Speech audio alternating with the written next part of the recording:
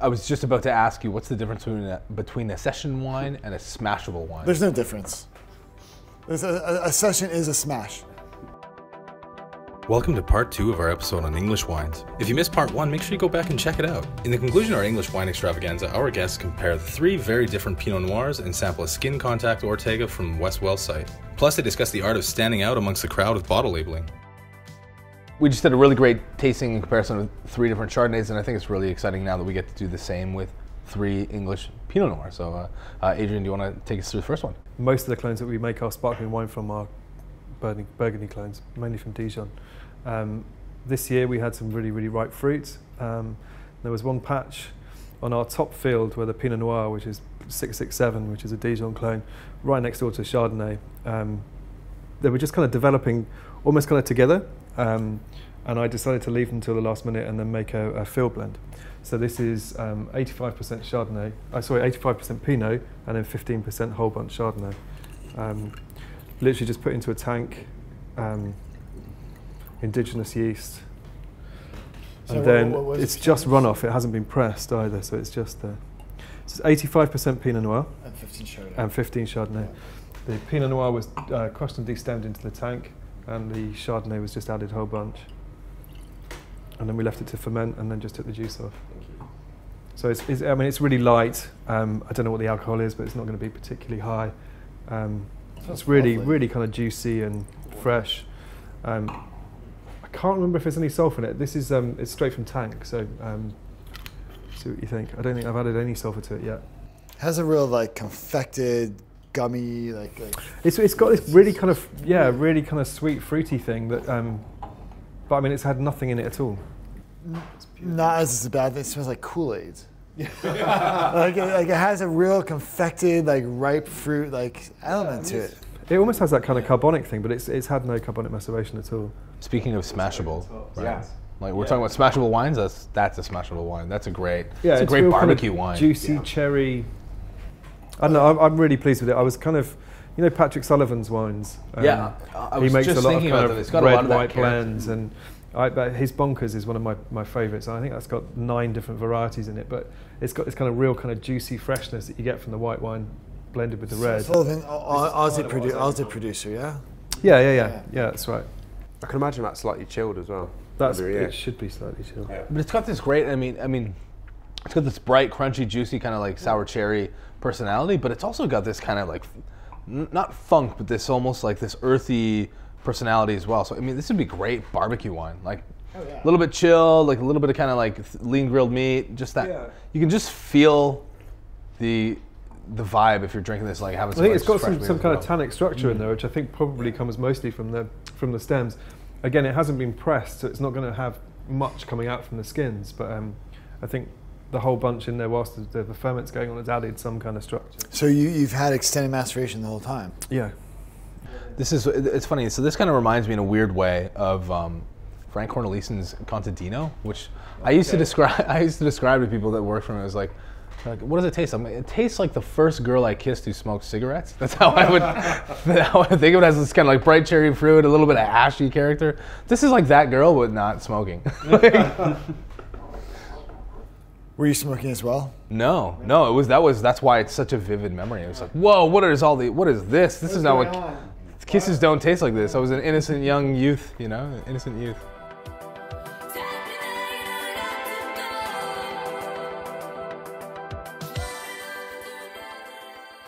Um, so, as the only non-winemaker here, um, the I brought the Davenport Diamond Fields Pinot Noir from 2016 along.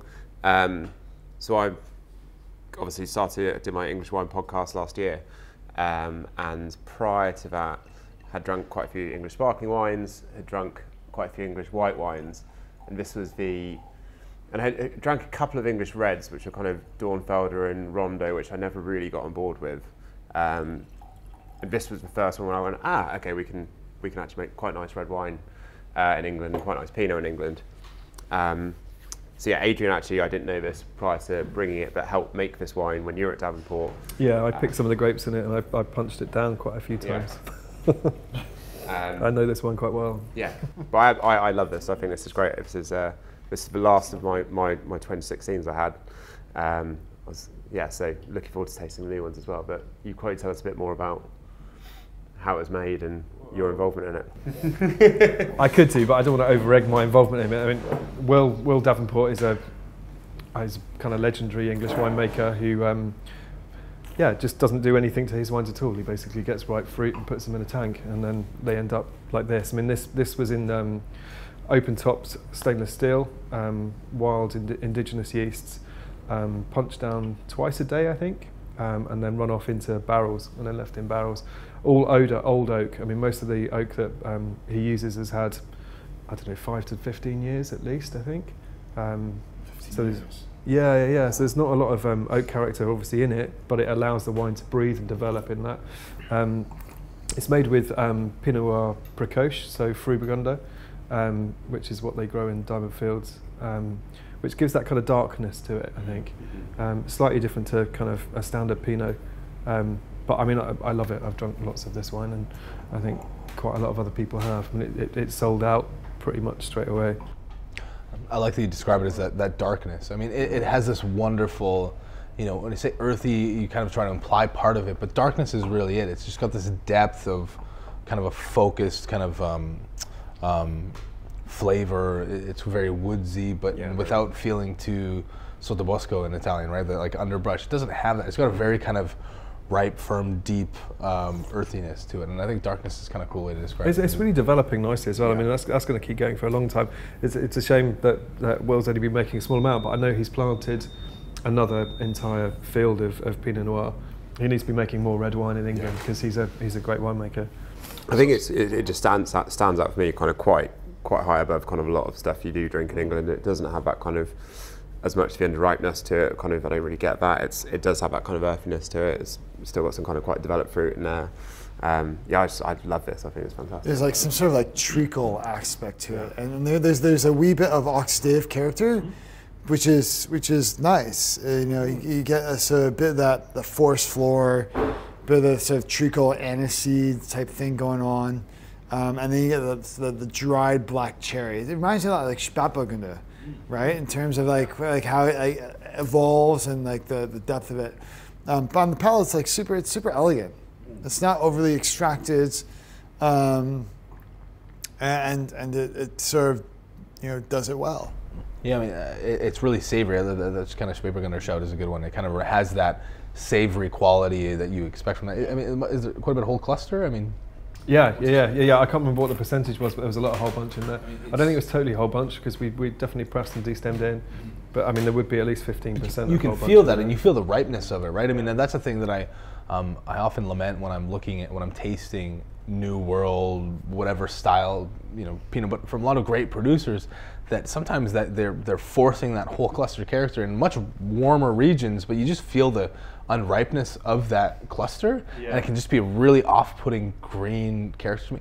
It's it's amazing. I mean, I was tasting this one, thinking the savor character, this dark personality, still some you know, as you say, some levity, some freshness, but just like oh. Sh- fuck, I'm tasting an English Pinot. That's like a really ripe yeah. cluster, right? So it's um, it, it's quite a, it's a bit of a revelation. You forget it's a, what you're it's tasting. a seriously good wine. It's, it's just talking about whole cluster. You know, you go back to Burgundy 30, 40 years ago, everything was 100% whole cluster because and that's why Burgundy is so inaccessible for you know decades. You know, it took you know you buy you buy wine in like call it 1990, right? So that we're just going back 30 years. But 1990 was an epic vintage. Those wines are just now becoming accessible. And you go back further to the 70s to 77, 75, or, or 71. Those those wines like were untouchable. They're completely undrinkable for the first like 15 years of their life. And I've, I've been really fortunate enough to try some of those wines from great producers. And, you know, and within the past five, ten years, they're now just really like opened and honest and they're not gonna, you know, tear down the house with and like be super challenging, if that makes all sense. Um, I, I, I, love whole cluster on the whole, you know, so I think particularly Pinot Noir does really well with it, Syrah does really well with it. Um, so if, if, if you can, so going back to the ripeness level of, of, mm. of the, the whole yeah, yeah. cluster, right? So how do you, how do you, how do you judge whole cluster involvement? Um, for all of our still Ortega, we just, we press whole bunch. Where the only, the only thing that we destem is the Pinot. So Josh, why don't, uh, tell us. About, I mean, you have you've got an, your own English wine podcast. Um, you've done six episodes. Tell me, like, what inspired you to do that, and kind of how did that come about? Yeah, uh, so I think basically kind of start of last year, um, beginning of 2018, did WSET level two, and that was my kind of like jumping off point from wine being something I drank to being a bit of an obsession, and um, read about all these wine regions, you know, kind of, and drank little bits of kind of Burgundy or Bordeaux and other places in the world, and thought that sounds great, and I, I love all of that, but it seems quite intimidating to get into. Um, I think kind of the cost as well is just so like high to kind of get into that, like recognizing different parts of um, Burgundy, for example. And I thought, well, what's on the doorstep? England's here, and there's kind of lots of, you know, it's, it's kind of it's beginning to be hot, like last March, March, April time. Um, and kind of thought, thought, what should I do? What can I do? Where the kind of skills lie? I thought I don't have any skills in podcasting. I listen to some podcasts. Maybe I'll try and do one of those. Um, so basically, yeah, kind of last beginning of last summer, emailed about 30, 40 people. Um, uh, two of these guys were two of these two, two of those guys, and um, yeah, managed to kind of beg, steal, and borrow my way into people's vineyards and wineries and interview them as a process. And I kind of did the whole thing as a initially try and see if it was going to be a, a kind of regional style. Kind of did a Sussex episode and a Kent episode and a Surrey episode, and kind of grouped it together like that learned during the course of those six episodes that wasn't really the case. And I think, as Sergio said, it's far more site specific than that. There's kind of sites in some places which are really stand out, and that doesn't mean that you know half a mile down the road is going to be that in England. Um, but yeah, got to got to meet loads of people as part of that process, um, and yeah, kind of produced six episodes, which finished last week. Is the first se- series, which is officially the first series. Um, there may be a second. Um, have had far more people now get in touch, having seen I'm not just some wild horse trying to knock on their door going, can I come and drink some free wine? Are you not? I mean, uh, that's well, I still am, but yeah. He's a lunatic with a microphone. He's just a lunatic, lunatic with credibility with yeah, a microphone. I've got a bit more credibility now. Although I don't have this setup, I was literally just one mic- microphone turning up and like, can I interview you? Is that okay? Um, and everyone said yes, so that was good fun.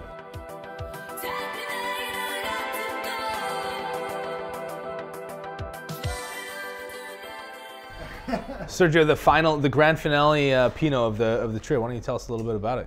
So um, this is comes from the same vineyard as our Chardonnay, and um, as I mentioned, uh, this also are uh, this also comes from Burgundy clones. So it's 115 and triple seven, which are widely planted throughout the world.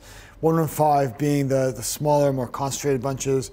Triple seven is effectively the workhorse.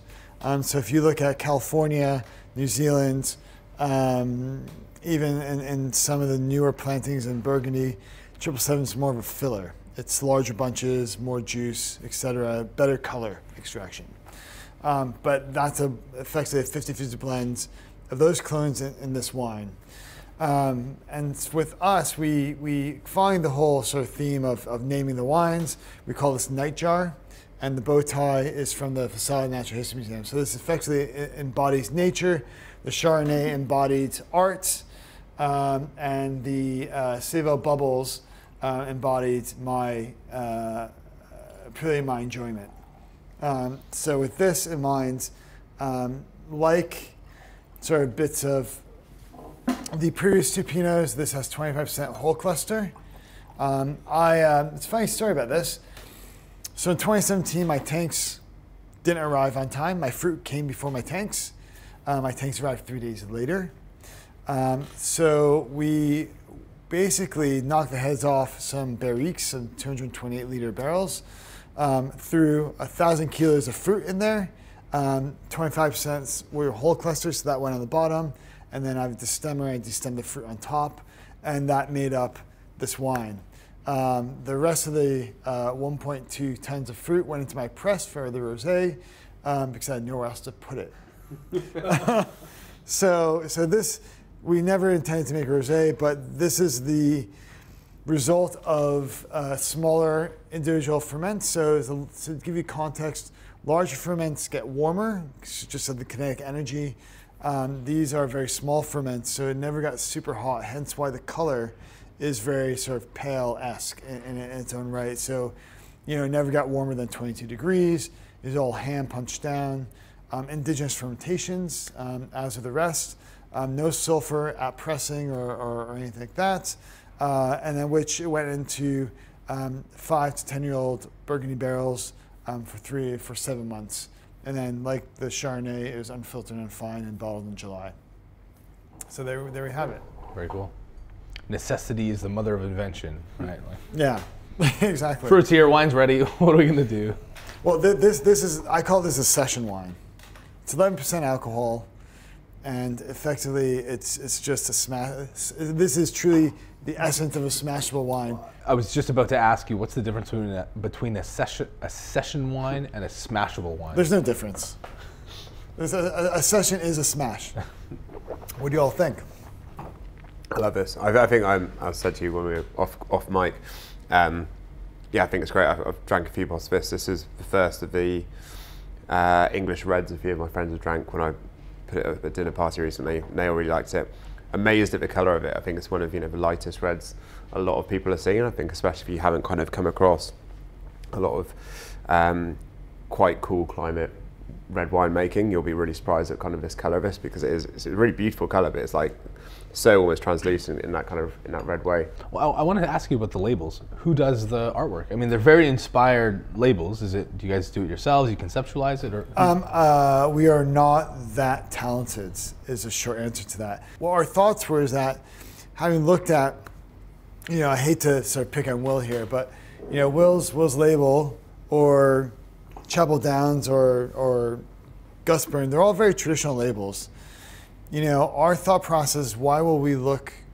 Why do we want to look like everyone else? Um, and so, with that in mind, our, from the from the start, we wanted to be a bit more contemporary. We wanted to represent the city that we live in, and so we enlisted the help of the Central St. Martin graduates um, called the Yarza Twins, and they they're really abstract and quite sort of outside the box, and they had no experience with drinks business um, or wine labels, and that was that was a plus for us. So we enlisted their help, and collectively came together with um, our core range series, which is um, what we refer to as the Faces of Londoners. So they're all sort of these these faces that represent the uh, different um, cultural aspects of London, but also different demographics. And each one has a subtle nod to the city that we live and that we love. Um, and hence why I, I sort of made the, the, the context and the, the effort of saying each one. And, and, and they are really uh, a massive help in, in giving our brand identity, but also helping us with our, our labels as well. There's so many wines on the market that it's, and, and Adrian's labels are, are, are pretty wicked, and we'll, we'll see with his orange wine as well. But You have to work on something which is kind of related to what you're making, don't you? And you need to find a way of standing out, I think. There is, yeah, and but we, you you don't really necessarily want to be gimmicky, right? No, Exactly. So, so for us, part of our whole sort of deal is to be sustainable. So we don't have caps, we don't have wax. Um, we, you know, also selfishly, I like skinless bottles. I like, you know, going working all these harvests and going to like people's cellars and just pulling out a blank bottle with a bit of sort of white chalk scribble on it, having no idea what it is.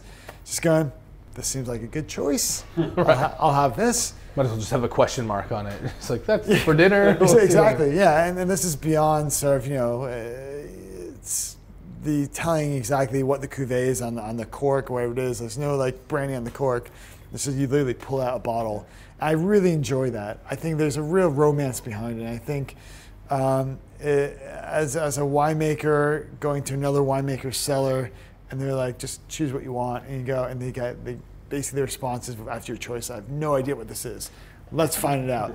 And it happened. So I I worked at Dimonti, and it happened that like we, we pulled like a 1968 ish bottle out from the cellar, and they're like, we have no idea where when it's from. And It's like from this era in this corner of the cellar. It's within like this like 10 year point.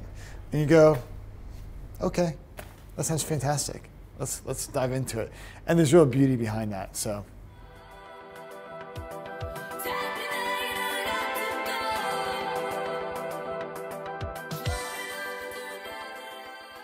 So Adrian, I'm I'm I'm always quite reticent to be too effusive about a wine pack about wine packaging in general, but I can't I can't help but be captivated by um, the label, the artwork, and just the general sophistication of this package. So the expectations are high. But why don't you tell us a little bit about the, the this bonus bottle that you brought, this uh, Ortega? So basically, the um, all of our new wine labels have got something to do with the vineyard. So this has got the that's a picture from the soil that was then hand drawn in pen and ink um, by my wife.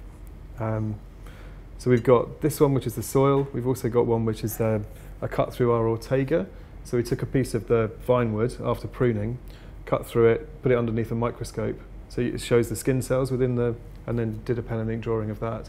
Um, our pink, which is launching in a couple of weeks, is going to be um, there's a Westwell pink, which is a, an, an, an anemone, um, a, you know, a pink flower, which actually grew and was discovered just above the vineyard.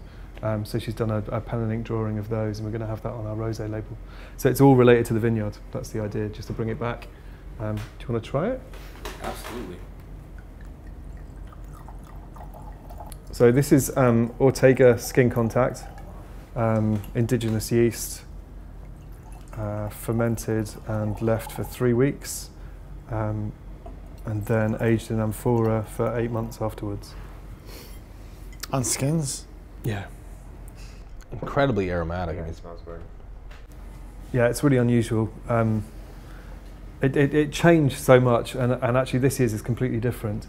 Um, originally, you got the honeysuckle from the amphora.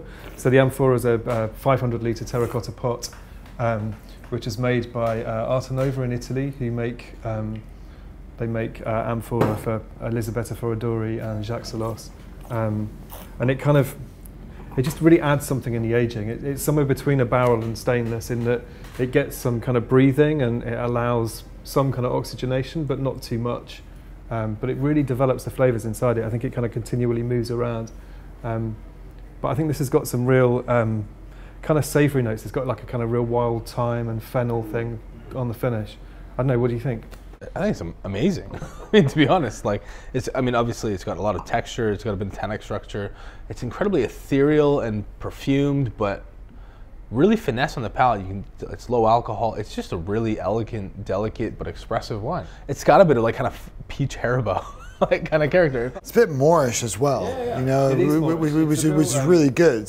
It's kind of unusual where you'd place it in terms of eating it with a meal, but I kind of come to the conclusion that it's, it's really great with cheese. Go really great with You have it at the end and I think after 12 of the wines, it places quite well. Mm. Yeah, that, that's when to have it. Yeah, I mean, some really fresh, like some fresh kind of goat's cheeses or some like Yeah, really nice, yeah. like a lot of texture. Comte is really good. Sorry.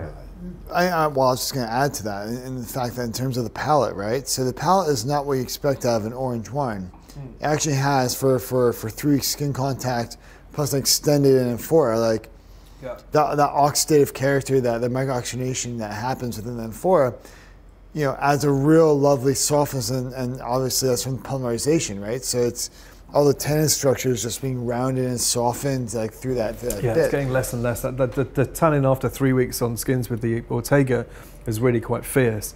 But then it, it just it becomes really gentle, the amphora. And then you start to get this kind of thing coming through in the mid palate as well. You start to get the fruit in there. and the length is like super, and there's like structure. Mm. No, I mean I did a bit of skin contact Ortega this year in sort of Okay. in sort uh, half ton bins, um, and the the tannins were about a lot more prevalent. Yeah, they, You know, they, they're but- really fierce initially. But I mean, obviously, this is 2017, so it's had quite a while now. No, but it's it's it's, it's, a, it's I, I agree with Derek. I think, I it's, a, it's a real super wine. if you've had the pleasure to visit uh, Elizabeth's wineries, and you, if you, you know, I have great reverence for her wine. She's one of my the most inspiring winemakers for me in the world. And I remember the first time I went to her winery and I tasted out of the amphora her wines, and they were so pure out of amphora, and I was perplexed by the fact that that um, purity was kind of transferred into the bottle as well. Um, and you kind of get that same purity here, and I think that's what's uh, I don't I don't quite know how to articulate it. I'm Totally unfiltered. it, I mean, but, but it's if, you, if uh, you if you leave the bottle, there's a lot of sediment in there. The best thing I think to do is just to shake it up and blend it in with the wine, kind of emulsify it, and then pour it, and you get that kind of flavour in there. And I think that keeps some of it too. I mean, it's just we were thinking about filtering it because I mean, obviously there was loads of stuff in in the amphora, including all the skins and lots of stuff that had settled, and we just bottled the whole lot really. But I mean, for me, it's Ortega. It's um, it's one of the reasons why we bought the Westwell site is that they've got four acres of Ortega. Ortega crops really beautifully in the UK, gets really really ripe. You get all these amazing flavours, but it's kind of like a winemaker's dream. You can do all sorts of different things with it. So it lends itself to kind of skin contact because it's got some lovely flavour in the skins. But our our still Ortega is a really kind of it's quite a kind of lean, kind of fresh, kind of you know, kind of. It's not really. Um, it hasn't developed all of those kind of orangey, marmalade flavours you get. We kind of kept it really kind of clean because we wanted to make a kind of refreshing wine. Ortega has this ability to get really kind of bitter because it's got this kind of pith finish. But that works great in, in skin contact because then as you age it in amphora, you kind of lose that, but you keep the kind of orangey, marmalade flavours and you start to get the savouriness. So it's, um, it's, just, it's just such a great grape to grow in England as well because you, you need to have grapes which will grow and get some real ripeness and some real flavours but also retain some acidity. And the problem we kind of have here is if you get really, really ripe fruit, your acidity drops completely. So I know there's lots of stuff about um, you know English wines having too much acidity, but that's because people pick because they want to try and retain some of it. And if you leave it to get really, really ripe, it falls out. Whereas Ortega just seems to mix, kind of hit this right spot. For me, it's the real kind of there's the the Bacchus Ortega thing in England at the moment. You got your Bacchus and you got your kind of elderflower and your grass, and it's really kind of I don't know, Sauvignon Blanc esque for the uh, lazy kind of description. Whereas Ortega, I think, has got so much more to, to offer. Um, you can just do lots of different things with it. And that's why we did this, really. Guys, thanks so much for coming tonight. This is a really exciting evening together with a um, massively diverse spread of wines. And, and um, um, really appreciate y'all taking the time to come down, and thank you to everybody at Terroir for hosting us here in uh, uh, just off Trafalgar Square. And uh, um, hope that people listening and watching get to see a bit more of the English wine world than maybe they previously thought. So, um, cheers to you guys, cheers to your wines. Cheers. Thank Thank you. you.